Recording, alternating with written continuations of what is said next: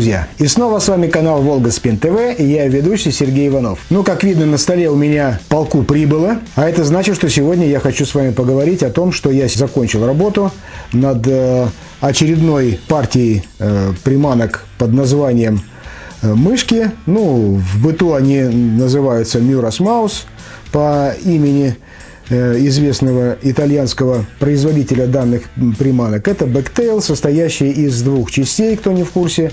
Э, головная часть э, сделана из меха оленя. Основа, как в классическом варианте, это пробка. И на нее уже слоями накладывается разноцветный мех, мех оленя, ну или аналогичный мех Э, лося, ну, любых животных, э, самое главное условие, чтобы волос э, был внутри пустотный, то есть имел внутри воздух. За счет этого придается определенная плавучесть приманки и естественное поведение ее в воде. Ну, в классическом варианте Мюрас Маус комплектуется именно большие модели вот таким вот двуххвостным твистером – Э, ну и, соответственно, фурнитура уже э, там делается э, как на монтаж, как из вертлюгов, также из поводочного материала. Данная линейка приманок, которые я уже выпускаю, ну, освоил изготовление, в принципе, уже практически год. За это время, ну, если обратиться в историю, вот это моя первая приманка, такой вот, такая голова – Э, ну, она немножко не классическая, но смысл, э, в принципе, тот же самый. Единственное отличие ее от э, оригинала – это то, что Мюрос делает определенные вот это вот, формирует из передней части, волосы обрезает и делает форму головы то есть выделяет. Э, ну, если сравнить, то, в принципе, получается, да, она более смотрибельная, но, честно говоря, для щуки особо это не является, э, ну, принципиальным, потому что щука э, хватает все, что, когда она в активной фазе, она хватает все, что движется, и даже бывает хватает такие вещи, которые вроде бы даже и не принадлежат, ну, и не являются ее кормом. То есть все, что движется, щука может спровоцировать, э, щуку можно спровоцировать на поклевку. А особенно, когда она находится в активной фазе, это когда начинается жор, особенно осенний, э, с похолоданием воды, э, то вот как раз-таки данные приманки вступают в силу. И они имеют большие шансы на соблазнение именно крупного хищника.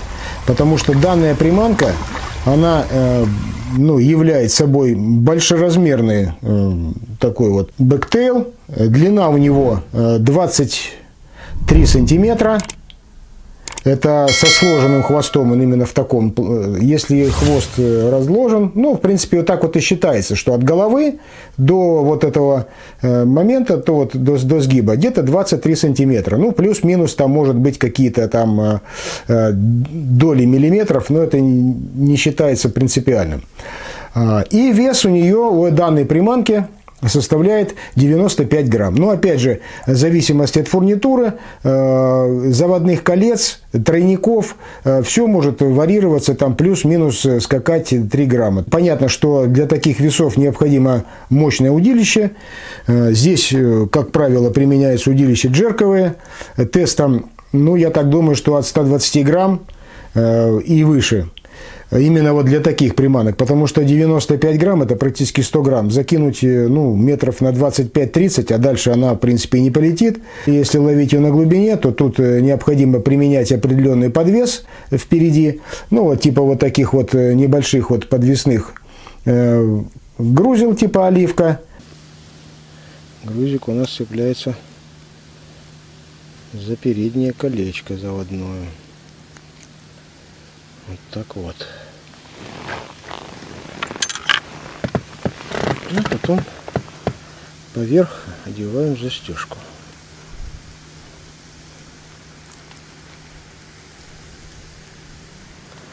Вот так вот должна выглядеть в таком положении. Вот. И для ловли в коряжнике на глубине 5-7 метров можно применять вот именно вот такие, или на течении, вот такие вот груза. А, приманка является собой медленно тонущую сама по себе, но для того, чтобы ускорить процесс, особенно чтобы достичь нужного горизонта, то необходимо применять как раз-таки вот такие вот груза. А, ну, проводка приманки осуществляется медленной подмоткой э, или же с небольшими остановками, э, медленная проводка с небольшими остановками и после остановки небольшой рывочек. За этот, в этот период э, юбка вот эта вот, она сжимается, расширяется, э, и во время, то есть рывка она сжимается, во время паузы расширяется. И хвост, в зависимости от того, если хвост тяжелее, чем голова, и имеет отрицательную плавучесть, он начинает ее тянуть вниз, и она вот так вот раскрывается. При рывке она сужается, и делает небольшой проплыв. Во время этого э, вот эти вот плавнички, э, они очень аппетитно э, играют, ну и изображая что-то такое, типа мыши, какого-то животного. Для щуки, еще раз говорю, нет разницы, что это проплывает. Там рыба, мышь там, или крыса. А все, что она видит, она хватает. И иной раз бывает даже так, что она может схватить такой, такую добычу размером, что сама даже не может ее и проглотить. И бывают такие моменты, когда щука просто погибает, потому что анатомически у нее э, в пасти находится очень много мелких зубов, которые удерживают добычу, то есть и направляют ее, не дают ей ну, при заглатывании эм, не дают ей выскользнуть обратно, и поэтому щука отрыгнуть, выплюнуть она уже не может. И если приманка является вот именно настоящим, ну, жи, таким живым объектом. А если там э, взять какой-то скользкий объект типа блесны, да, она ее просто чувствует моментально и выкидывает, разжимает челюсти. Вот. А если э, объект живой, а данная приманка, она э, является собой как раз-таки э, щука, схватая ее, она не может определить, что это настоящий объект, живой или искусственный. Почему? Потому что э, натуральный волос плюс мягкий силикон, он не настораживает ее так, как настораживает, допустим, какие-то искусственные приманки типа воблеров, там, джеркбейтов и всего прочего. Поэтому, как правило, на одной проводке бывает на такую приманку до двух-трех выходов или до тех пор, пока щука щука э, не зацепится э, за тройники.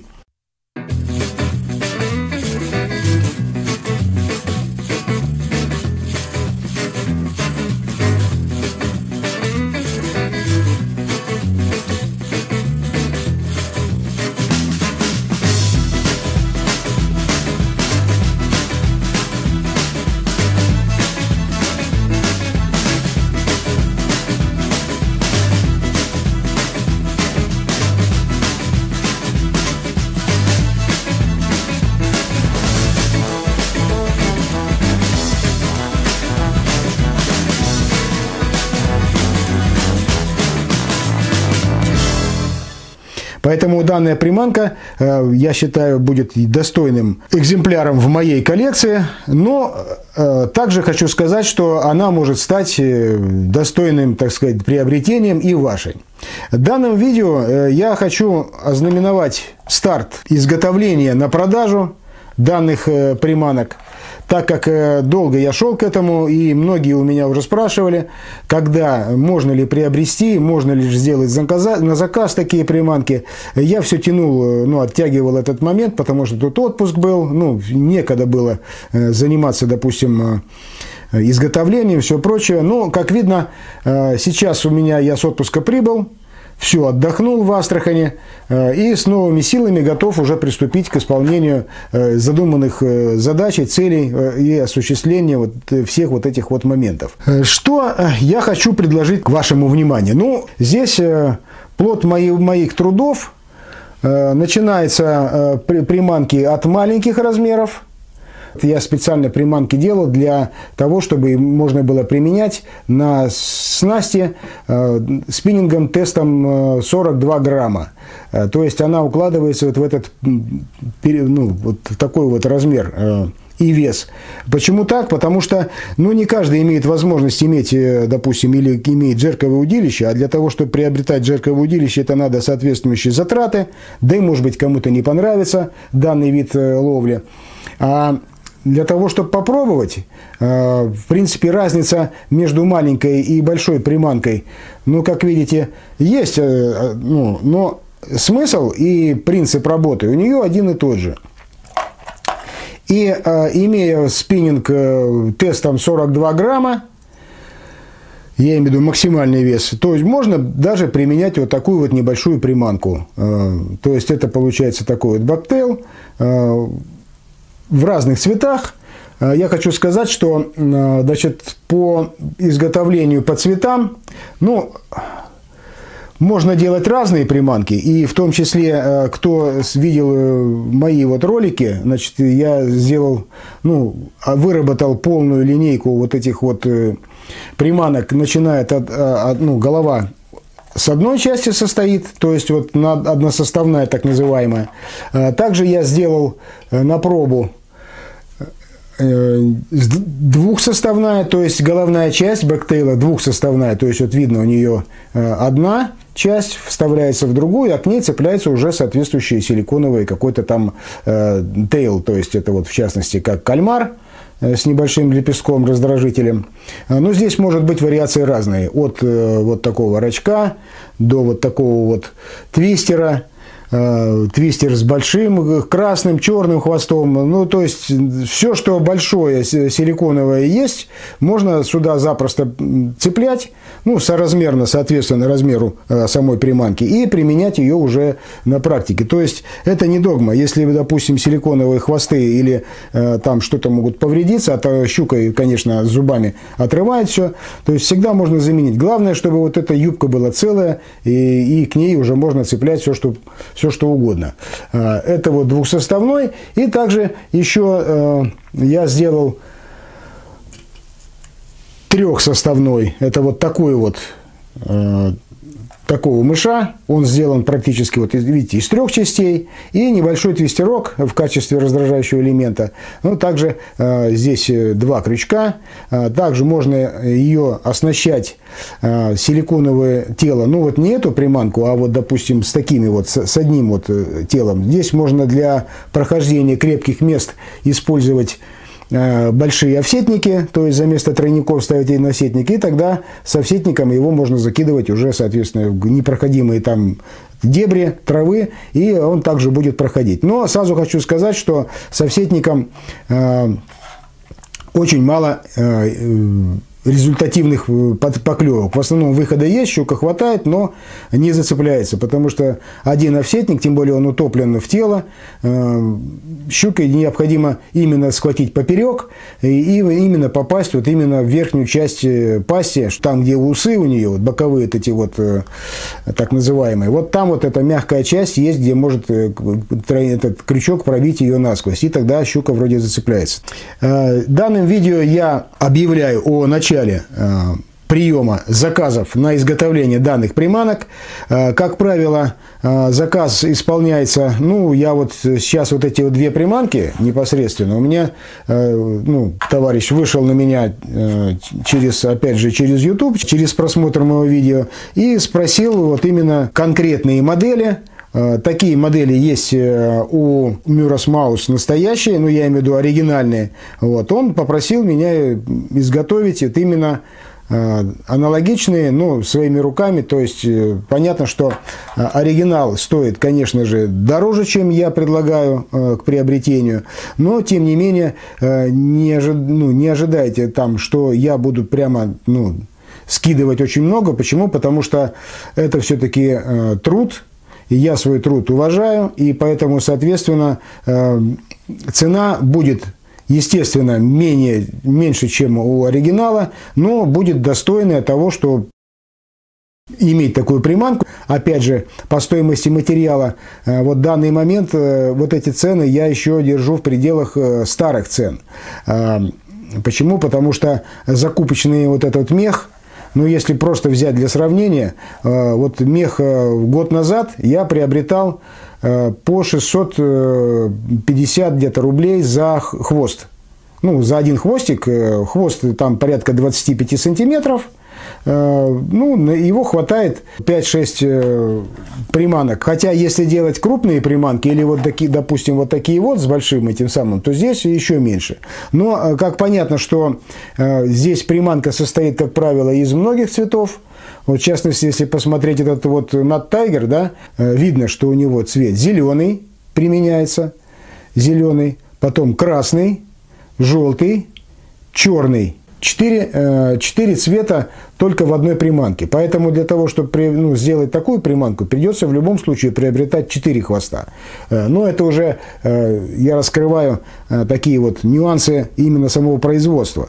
Вот. А, а сейчас, вот на данный момент, цена подскочила на вот этот мех но если я брал его, как я еще сказал, в прошлом году по 600 рублей, то сейчас он уже 1600 рублей стоит.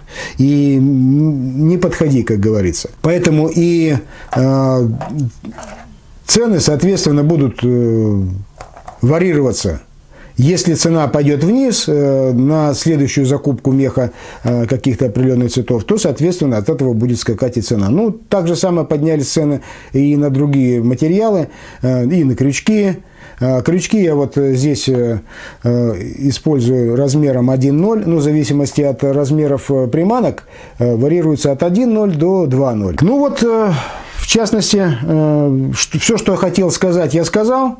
Единственное, что сейчас еще хочу проверить вот эти данные приманки, как они поведут себя в воде, потому что первый мой вариант, вот такие вот, они тоже, кстати, 95 грамм, вот эти вот приманочки – это мой первый. Первые мои, те, которые э, я изготавливал еще год назад, даже полтора года назад уже, вот, они имеют тоже размер 20 где-то 3 сантиметра.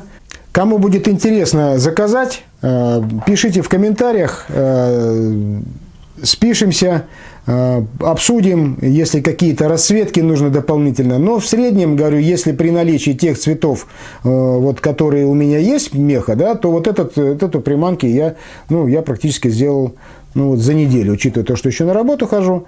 Тут вопрос стоял найти, главное, вот эти вот хвосты, потому что все это я э, закупаю непосредственно под каждую мотель, э, ну, для того, чтобы они не лежали мертвым грузом, то что хвосты тоже определенно имеют стоимость, ну, еще плюс пока она дойдет, доставка. А кому неохота ждать, э, допустим, заказы или кого устраивают определенные расцветки, я даю ссылочку э, в описании к видео на Авито, там я также уже начал выкладывать определенные некоторые модели, ну, в частности, те модели, которые здесь висят, вот эти вот модели, вот эти вот, вот, вот эти вот модели, которые вот они к вам расположены, вот, они уже выставлены, э, было по три, уже стало по две, ну, кое-что уже ушло, э, пока еще есть готовые варианты – Все о том, как они изготавливались, э, как они, ну, сколько они там, какой размер, все это можно посмотреть в моих видео, по подсказочкам смотрите, а, все там четко расписано. Ну а теперь, чтобы долго, э, долгий ящик не откладывать, давайте пройдем в мой полевой испытательный полигон, ванные испытания проведем, посмотрим, как э, они играют. Ну и, соответственно, кому понравится, ставьте лайк, подписывайтесь на канал, э, заходите, смотрите. А кому понравилось э, и кто хочет стать обладателем такой штуки интересной, а тем более сейчас осень, я хочу сказать, что осень, она уже наступила, и скоро щучка будет э, просыпаться. Сейчас пока, конечно, еще жарковато. Я буквально не, несколько раз выходил на рыбалку, даже брал мышки с собой, кидал, посмотрел, как э, они играют в воде. Но хочу сказать, что вода очень теплая, активности щуки практически никакой. Э, что удалось вымучить, вымучил. Э, но все это будет э, где-то примерно наступит где-то во второй половине сентября, я думаю, даже к концу сентября, начало октября. Вот тогда будет э, э, самый интересный период. И до ноября по неспадающей. Поэтому время еще есть. Заказывайте. Буду очень рад с каждым обсудить вопрос и как можно быстрее выполнить ваши пожелания. Буду очень рад, если кто-то сделает заказ. Ну, а там уже по стоимости и по э, доставке мы уже вопрос с вами решим. Итак, всем пока и ни хвоста, ни чешуи.